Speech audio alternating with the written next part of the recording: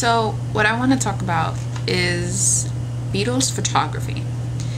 Now, there are tons of photographs out there that are iconic, and basically, I'm going, I'm going to be bold and say that the Beatles are probably the most photographed band in the world. So, um, I want to mention three photographers that were that took these um, famous Beatles pictures, and um, and I'll I'll say I'm saving my favorite one for last. Uh, the first one is Robert Whitaker.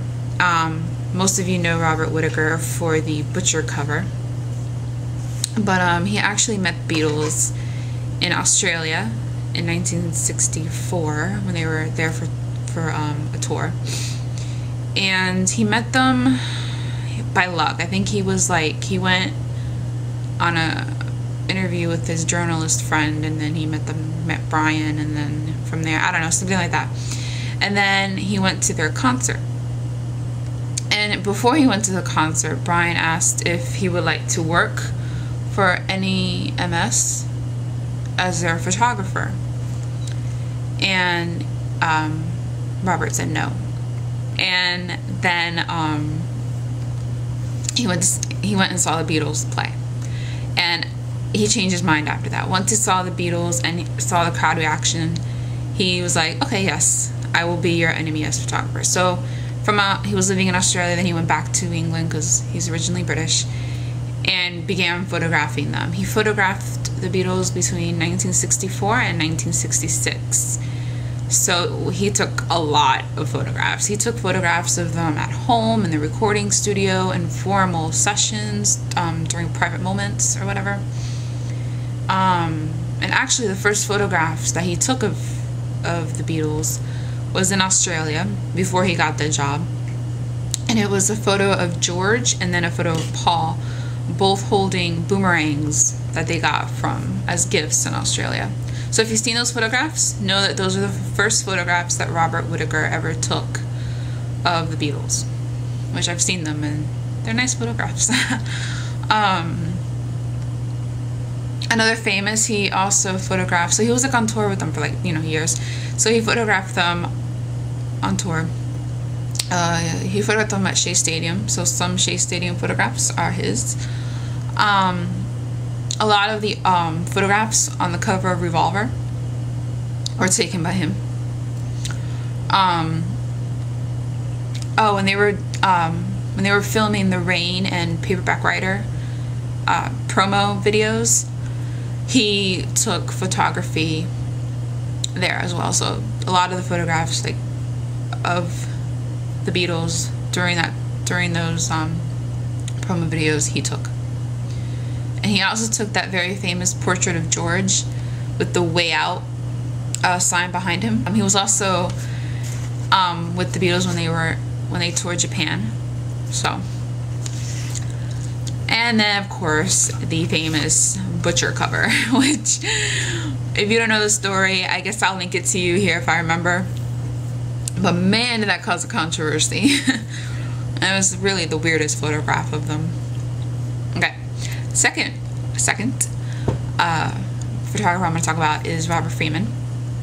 And um, he actually met them in 1963. He became their photographer between 1963 and 1966. And what what got him the job with the for, for, for photographing the Beatles, I can't speak ever, um, was these photos of John Coltrane. The Beatles, he sent them in to Brian, and the Beatles were and Brian were impressed with them, and particularly those John Coltrane photographs. And that led to his first commission with the Beatles in August 1963 in Bournemouth. And basically, that August 1963 job was the cover of the With the Beatles cover. It took place at the Palace Court Hotel in Bournemouth on August 22nd, 1963. Uh, apparently, he got paid 75 pounds for his um, work, and apparently, that was like three times the normal fee. Impressive. he also photographed the Beatles for Sale cover, which was set in Hyde Park. Uh, he also um, photographed the cover of Help, the Help album. And a lot of people, he initially wanted to do, you know how the Beatles were like, you know, with their hands, with their arms, and how he he wanted it to be in semaphore. But um, once he was there and he posed them, he didn't he didn't like the look of it, so he just you know posed them in pleasing shapes. so it doesn't spell out help. Okay. Um, he also photographed the Rubber Soul cover, and you know the story of the Rubber Soul, how he by accident he had a film over or whatever, and it like elongated the image, and then all the Beatles were like, "Hey, we like that. Can you do that?" And then he said that he could. He photographed Ringo and Mo the the night before the wedding, and he did some design work on the end credits for A Hard Day's Night Help.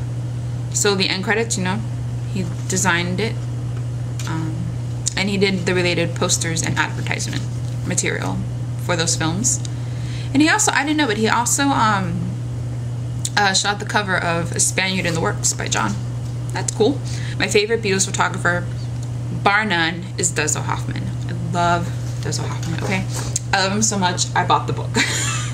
I love Dezo Hoffmann. I can't, I just love him. Um, he met the Beatles in 1962 in Liverpool.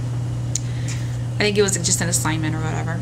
And from that point on, they had a, the Beatles and Dezo had a mutual affection for each other. So it allowed him to photograph them with ease and, you know, the Beatles were comfortable and all that. He also shot during his first assignment with the Beatles, he also shot an 8 millimeter color film, and many of the shots in that film were taken by the Beatles. Um, I'll link you to it because I found it on YouTube. It's very adorable. I love it so much. Um, supposedly, it's the first color film of them, but I don't really. There's another one, color film of the Beatles. They're like performing somewhere, and that's in color. I don't know which is first though, that one or this one that I was just talking about. And um, apparently, Paul says that he was the greatest photographer in the world. Now, he probably said that early in 1963, so that was before Linda. So I don't know if he still feels that way nowadays. But come on, I mean, look at his photographs. Okay? He, okay, in the studio at Paul's house. Cars in front of the, in front of this car is George's car. He had a Ford Anglia, George. Makes me think of Harry Potter. Um, he also uh, photographed them in the cavern. Um, getting a haircut. Playing at a school. Can you imagine if the Beatles came and played at your school? Awesome. um, in the studio again. George Martin with George Martin.